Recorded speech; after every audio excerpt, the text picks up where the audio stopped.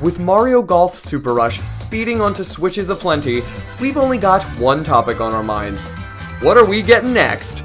Humanity's attention span is truly appalling, but I can't exactly belittle anyone else because I'm just as excited for whatever content is coming our way as DLC. Last we chatted, Toadette came up as a potential contender in this tournament of superstars. But there's one all too important inclusion we cannot overlook. Diddy Kong has consistently secured a slot in the Mario spin offs, schlepping a ride with his partner in crime whenever he wants to throw hands or hit balls. After he roughed it through both Toadstool Tour and World Tour, this Kong's making it his goal to snag the gold in Super Rush. Now, you might assume Diddy Kong would be sprinting across the course with his trademark agility. And you'd be correct. Despite his surprisingly lackluster speed in the Donkey Kong spin offs, Diddy has repeatedly displayed an unparalleled swiftness in the Mario universe, and Super Rush is no exception. The only kryptonite to his celerity? Power. From a pathetic batting score in sluggers to a subpar drive in past golf tourneys, Diddy's strength lies in. well, not in strength at all. His strategy? Hit it fast and reach it faster. Like the other speed type characters, except for Mario, who just had to be special, Diddy has received a 5 yard increase to his driving range from Toadstool Tour, going from 207 yards in the GameCube days to 212 yards in the Switch era. Guess he's been working on his arm guns too. But if any of you have attempted to play as Diddy in Donkey Kong 64, you would know that steady steering is not his forte. Somersaulting and cartwheeling come with the territory for this Kong. That lack of direction is reflected in his middling control, but this hodgepodge of capabilities shifts ever so slightly when he upgrades his arsenal. With the star clubs in tow, Diddy's inferior strength is amplified. Unfortunately, it comes at the cost of his control, redirecting his shots with an unwanted frequency. Thankfully, he can utilize newfound levels of spin to help the ball travel farther or keep it from overextending its intended distance, regardless of where it winds up. The Superstar Clubs provide a further expansion of his range, but he has lost all sense of control. Diddy is the kind of character who likely requires strategy and on the fly improvisation should a shot curve more than expected. His spin falls just shy of his fellow speedsters, barring Yoshi, but it can still give him an advantage if you learn to land his shots just right. If Diddy needs a helping hand in holding a candle to his competitors, he need not look beyond the litany of inventions at his disposal. Like Robin and his utility belt, Diddy comes equipped with a number of tools that will blast him towards victory. For his special shot, Diddy fires off a popgun barrage. Not familiar with this fusillade of legumes? The peanut popguns have been blowing up the scene since Donkey Kong 64, even traveling with Diddy to the world of Super Smash Bros. In this iteration, Diddy withdraws both pistols, shoving the golf ball into one and a pack full of peanuts into the other. Backflipping for added flair, this Kong opens fire while airborne, releasing both sets of ammo onto the fairway. Upon landing, the golf ball itself has no special properties besides an extended range. However, the number of peanuts scattered around the battlefield can create quite the unexpected layer of chaos. How? Because you don't know which peanuts can be consumed and which will incinerate your stomach.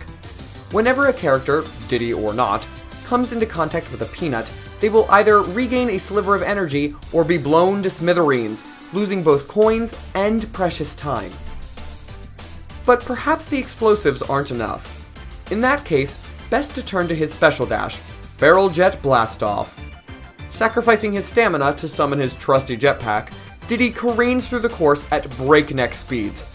But that pace causes his poor jetpack to malfunction, breaking it apart into three individual pieces after it overstays its welcome. The segments blast off in separate directions, exploding on impact wherever they land, and providing an additional opportunity for Diddy to leave his opponents in the dust. If Diddy plans to take home the trophy this time around, he best suit up for his post tournament photo shoot.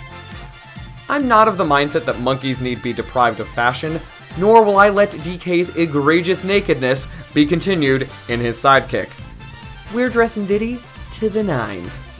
I have three separate costume concepts prepared for Diddy, each centered around a different color scheme and style. The first focuses on his signature color, red. Even before those golden stars were slapped on in Donkey Kong Country 2, Diddy's been swathed in scarlet since his inception. The first significant change comes from his headwear. Since visors are the norm in golf, I replaced the cap but kept his head covered in general. The high crown style, in particular, helps preserve the look of a hat more so than its flat top variant. The Nintendo, or formerly Rare, logo has been swapped out with a fancy sewn in K, for Kong of course, to help it look more like professional, branded merchandise. While this boy prefers to bum it, tournaments require a higher level of presentation.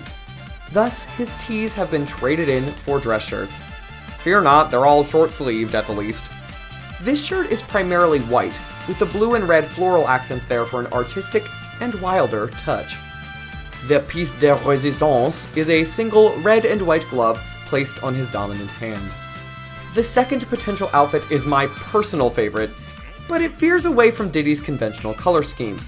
While Nintendo tends not to do this, I'd assume for the sake of easy recognition even amongst casual fans of the series, they have dipped their toes in with the occasional oddball fashion commercial, and I think spin offs like this could benefit from mixing up the conventional every once in a while. We're keeping the high crown visor, but we've swapped out that K for an embossed banana.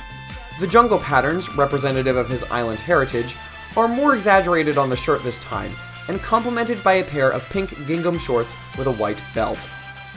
Last but not least, we have an outfit that returns to the red, but brings back the yellow of his shirt's stars, and adds in blue to round out the primary color scheme. The visor from the first outfit returns, but with the K replaced by a star pin instead. The dress shirt is navy this time around, but with white accents, and the pants are an argyle print containing white, blue, and red. It's overly simplistic for my taste, which means that Nintendo would likely go along with this design in comparison to the others. Which of our three costume sets do you think suits Diddy best? Or do you believe this wild child should stick to his regular attire? With his stats, skills, and costumes decided, there's not much left to determine for Diddy. I would wager to say we'll see him on the earlier side of DLC, but I doubt he would be an immediate inclusion. Adding in a Donkey Kong character could align with an upcoming reveal, if any of the 8,000 rumors we've gotten are true, to generate hype for his Mothership series. Now all that's left to do is wait and see if my predictions come true. Speaking of which, why not tell me what you're predicting to see with Diddy?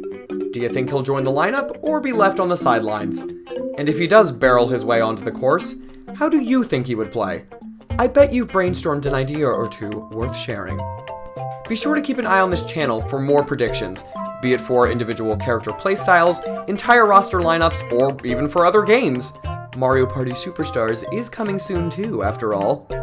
But until we adventure together again, go act heroic in your own communities, and go ape on the golf course.